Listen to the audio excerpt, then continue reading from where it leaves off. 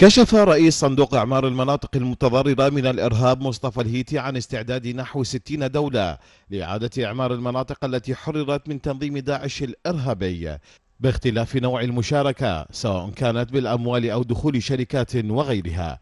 في حين ألمح الهيتي إلى وجود قرض جديد بقيمة 500 مليون دولار مؤكدا أن شركة استشارية ستقيم حجم الأضرار الموجودة في تلك المناطق.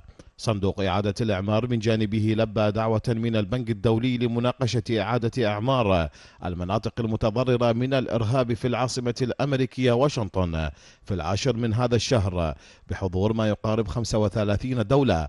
وكان هناك تحد لإقناع المجتمع الدولي بزيادة مبلغ القرض من خلال عرض الأعمال المباشرة التي أنجزها الصندوق في المرحلة الماضية بالقرض الأول والتي بلغت 152 مشروعا.